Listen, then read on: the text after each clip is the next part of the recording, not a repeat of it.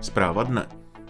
Na přímluvu Rosatomu nakonec čeští komunisté budou očkováni Sputnikem V.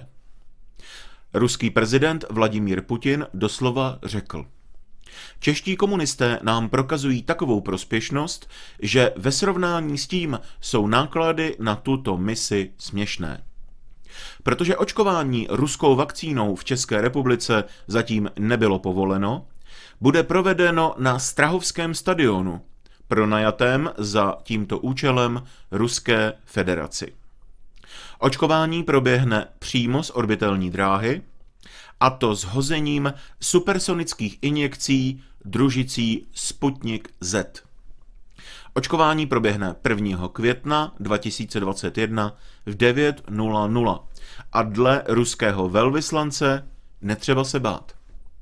Injekce budou zpomaleny padáčkem burlak, takže konečný vpich se projeví jen jako středně silný kopanec do hýždě.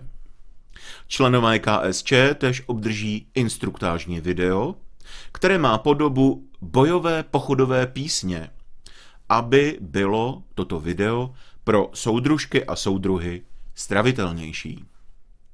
Video nabízíme našim divákům právě teď. Soudružky a soudruzi, vítáme vás tak nějak na té naší akci. Než se rozmístíte na značky, ujistěte se, že každý z vás má červený fix. Soudruhu Klauzi, nestůjte tam jak půl v plotě a pojďte mezi nás, však už k nám dlouho patříte. A nyní na můj povel. Si všichni tak nějak sundáme kalhoty, sukně a prádlo. Vytvořte dvojice a vzájemně si na hýždě namalujte znamení pro zaměření samonaváděcí injekce. A to tak, že na levou hýždi nakreslíte hvězdu a na pravou srp a kladivo.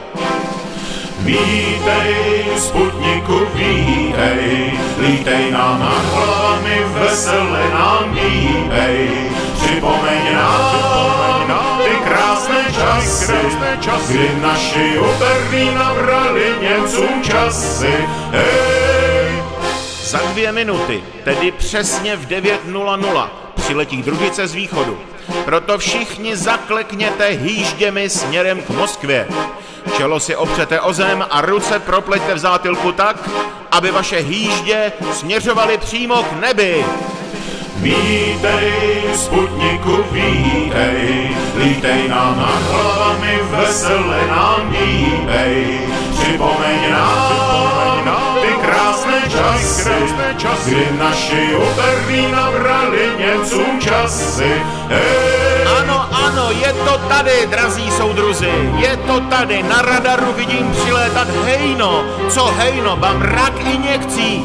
Připravte se na náraz a držte, držte soudružky a soudruzi, držte ze všech sil.